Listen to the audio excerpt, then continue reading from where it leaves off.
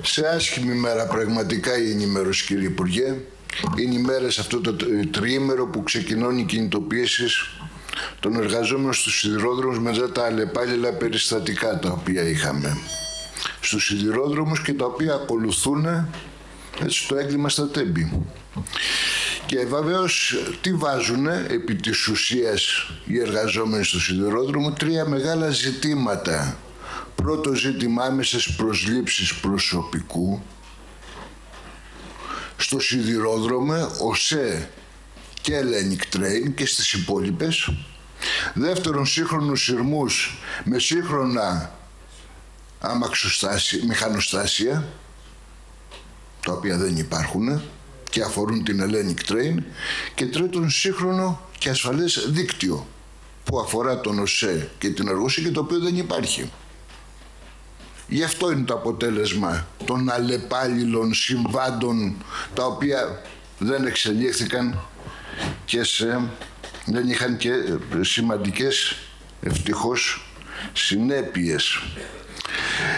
Και το λέμε αυτό γιατί πραγματικά από την παρουσία σας φαίνεται ότι για άλλα πράγματα έχετε προτεραιότητες και όχι για αυτά. Τι είπατε βασικά, καταρχάς σε σχέση με το οργανόγραμμα είναι πάνω από το 50% του μειωμένου οργανογράμματος του ΣΕΠ που δεν καλύπτει το προσωπικό. Και μιλάτε για 117 προσλήψεις. Και αυτοί που θα συνταξιοδοτηθούν το επόμενο διάστημα να γίνουν προσλήψεις, τι θα γίνει. Η υπεραντατικοποίηση των εργαζόμενων εργαζόμενοι οι οποίοι δεν έχουν τις απαραίτητες γνώσεις και εκπαίδευση για να μπορέσουν να απασχοληθούν στα συγκεκριμένα αντικείμενα είτε είναι του ΟΣΕ είτε είναι της Hellenic Train γιατί κάνουν fast track διαδικασίες μάθησης και το αποτέλεσμα το είδαμε και στα τέμπη την επίπτωσή του. Για όλα αυτά καμία απολύτως για το ανθρώπινο δυναμικό, για το πώς θα αναβαθμιστεί και θα μπορέσουν να αντιμετωπίσουν τα σημαντικές επιπτώσεις της εντατικοποίησης. Και βεβαίως τίποτα για τα ζητήματα που αφορούν την Hellenic Train παρά το γεγονός ότι παίρνει 65 εκατομμύρια επιδότηση κάθε χρόνο για τις άγονες λεγόμενες γραμμές, τι θα γίνει με τον εξυγχρονισμό των σειρμών, τι θα γίνει με τον εξυγχρονισμό των μηχανοστασίων, με την προμήθεια ανταλλακτικών, με τις συγκεκριμένες προδιαγραφές που, πυρασφάλειας που πρέπει να τηρούν και οι σειρμοί και τα μηχανοστάσια; Για όλα αυτά, απολύτως τίποτα. Λες και δεν είστε εποπτεύων Υπουργείο και το συγκεκριμένο ζητήματος και μεταφορών, όχι μόνο υποδομών.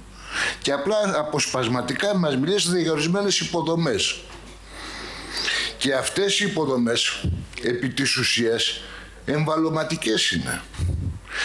Ε, επανέρχομαι πάλι στο ζήτημα του ανθρώπινου δυναμικού. Είπατε ότι θα κάνετε δύο συμβάσεις το επόμενο διάστημα 5,8 εκατομμυρίων ευρώ για το ζήτημα των δέντρων. Για δύο χρόνια. Αυτό τι σημαίνει, σημαίνει μισθοδοσία 150 εργατών γραμμής οι οποίοι λείπουν και οι οποίοι και τη συντήρηση και τον έλεγχο αλλά και τα δέντρα θα μπορούσαν να αντιμετωπίσουν. 150 εργατών γραμμής. Γιατί επί της ουσίας δεν υπάρχει πλέον στο οργανόγραμμα, δεν υπάρχει στην πράξη οι εργάτες γραμμής που υπήρχαν τα προηγούμενα χρόνια και οι οποίοι ήταν επί, ε, είχαν ως σκοπό να παρακολουθούν την κατάσταση της γραμμής, να παρεμβαίνουν και να αντιμετωπίζουν τέτοιου ζητήματα. Όμως αυτά τα κάνετε προς όφελος συγκεκριμένων ομίλων, οι οποίοι θα αναλάβουν μικροενεργολάβων, μεγαλοεργολάβων. Όσον αφορά για τις συμβάσεις, αλήθεια, πώς μπορεί να είστε ικανοποιημένος ότι ολοκληρώνονται και δεν έχουν ολοκληρωθεί οι συμβάσεις; Φταίει τώρα ο Ντάνιελ που δεν ολοκληρώθηκε, που μάλλον η 717 δεν λειτουργεί. Γιατί υπάρχει το πρόβλημα με την ε, Θεμηνία. Μετά από πόσα χρόνια όμως ολοκληρώθηκε; Από την αρχική της ημερομηνία, μετά από 15 χρόνια. Και ενώ είχαν μεσολαβήσει το έγκλημα στα τέμπη με τους δεκάδες νεκρούς. Οι υπόλοιπες που δεν είναι οι 717 έχουν ολοκληρωθεί που ήταν το 2006 και το 2007 συμβάσεις, τρεις. για το GSMR και το TCS. Όχι. Ούτε αυτές έχουν ολοκληρωθεί επί της ουσίας. Ούτε αυτές είναι λειτουργικές επί της ουσίας. Και θα έπρεπε να έχουν ολοκληρωθεί το πολύ. Για δύο χρόνια ήταν οι συμβάσεις αυτές, άντε μέχρι το 2010. Και μιλάμε για το 25 και δεν έχουν ολοκληρωθεί ακόμη. Και οι οποίες σχετίζονται με την ασφάλεια συνολικά του δικτύου. Αυτή η εικόνα είναι η εικόνα συνολικότερα της Ευρωπαϊκής Ένωσης στα ζητήματα της ασφάλειας. Είπατε κι εσείς για το 14% που καλύπτει το ολοκληρωμένο δίκτυο, το ολοκληρωμένο σύστημα ασφάλειας του δικτύου της Ευρωπαϊκής Ένωσης και υπάρχει η έκθεση του Ευρωπαϊκού Οργανισμού το Μάιο του 2024. Που τι λέει αυτή η έκθεση, ότι υπάρχουν τεράστιες καθυστερήσεις στην εγκατάσταση των συστημάτων ασφαλείας, ότι μόλις το 14% του δικτύου έχει μπει το ολοκληρωμένο σύστημα και το, το ATCS, η αυτόματη πέδηση, μόλις σε τέσσερις χώρες της Ευρωπαϊκής Ένωσης υπάρχει σε πάνω από 30%. Με αποτέλεσμα τι, να αυξάνονται τα ατυχήματα. Το 2022 κατάγραψε 1569 σημαντικά ατυχήματα στους αεροδρόμους και 805 νεκρούς, αυξημένους κατά 18% από το 2021 και μάλιστα το μεγαλύτερο ποσοστό είναι από τις ανισόπεδες ισόπεδες διαβάσεις. Γιατί στην Ευρωπαϊκή Ένωση μόλις το 17% των ισόπεδων διαβάσεων έχει προστασία. Οι υπόλοιπες δεν έχουν. Η ίδια εικόνα επί της ουσίας πάνω κάτω. Και για να ολοκληρώσω κύριε Πρόεδρε θέλω ένα δύο λεφτά για τα σημαντικά. Βέβαια εδώ επιτρέψω μια παρένθεση. Φαίνεται ότι και στην πράσινη σοσιαλδημοκρατία, στο πράσινο κομμάτι της σοσιαλδημοκρατίας, ο αντικομουνισμός είναι δεύτερη φύση. Είναι δυνατό να μιλάει για, την, για τα χώρες του Ανατολικού Μπλοκ και το σιδηροδρομικό δίκτυο, που η ανάπτυξη ήταν τεράστια. Τεράστια, ασύλληπτη. Και που η υπόλοιπη Ευρωπαϊκή Ένωση με τα κιάλια δεν τη βλέπει. Με τα τεράστια σιδηροδρομικά έργα και να μιλάει με αυτά τα λέει, αλλά τέλος πάντων να πάμε λοιπόν τι σχεδιάζει η κυβέρνηση για το επόμενο διάστημα. Η κυβέρνηση δεν θέλει να αντιμετωπίσει με τα έργα τα οποία προωθεί τις σύγχρονες ανάγκες ασφαλούς μετακίνησης του λαού και των εμπορευμάτων βεβαίως, αλλά του λαού πρώτα και κύρια, αλλά θέλει να εξυπηρετήσει τα αναθεωρημένα διευρωπαϊκά δίκτυα, υλοποιώντας πιο σχεδιασμό τον αμερικανατοϊκό σχεδιασμό, τον ευρωατλαντικό σχεδιασμό. Και αυτός ο σχεδιασμός δεν είναι τίποτα άλλο παρά η υλοποίηση του ευρωπαϊκού διαδρόμου Baltic, Black και Aegean Sea. Αυτός είναι. Ο σχεδιασμός τον οποίο κάνετε και με τα έργα Αλεξανδρούπολη Ορμένιο 700 ευρώ και νέα Καρβάλι τοξότες αλλά και με τη Θεσσαλονίκη.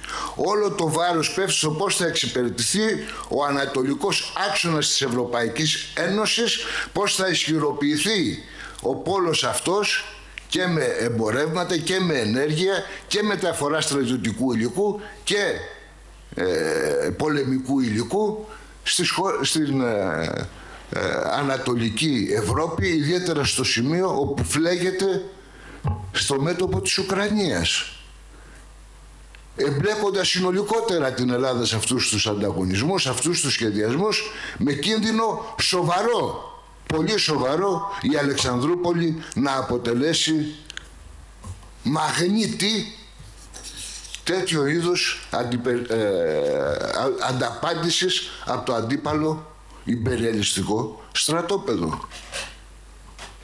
Αυτό πρόθεται και τα υπόλοιπα μεγάλα και αναγκαία έργα κουβέντα δεν είπατε τι θα γίνει στην Νότια και Δυτική Ελλάδα με το σιδηρόδρομο.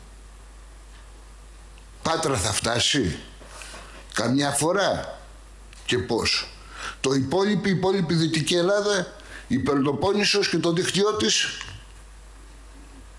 μόλις των τρίτων του δικτύου του 1980 λειτουργεί σήμερα του σιδηροδρομικού.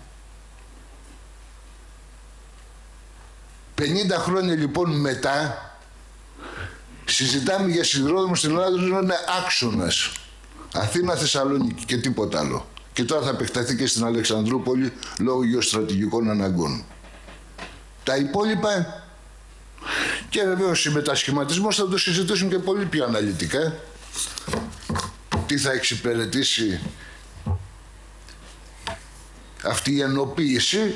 Βεβαίως ενοποίηση λέμε και εμείς γιατί η πολυδιάσπαση αντιμετώπισε αυτά τα ζητήματα αλλά για όφελος ποιου θα είναι αυτή η ενοποίηση; Γιατί μπορεί να οδηγήσει σε συγκέντρωση των όλων δραστηριοτήτων αλλά καλύτερη εξυπηρέτηση των συμφερόντων των μεγάλων πολυεθνικών που δραστηριοποιούνται στο χώρο τόσο της υποδομής όσο και της υπερδομής και βεβαίως στην πλαίσια της συνολικότερης απελευθέρωσης των σιδηροδρομικών μεταφορών της Ευρωπαϊκής Ένωσης που αποτελούν και την κύρια αιτία των προβλημάτων που αντιμετωπίζουμε. Ευχαριστούμε τον συνάλφο. Και εγώ για τον χρόνο κύριε Πρόεδρε.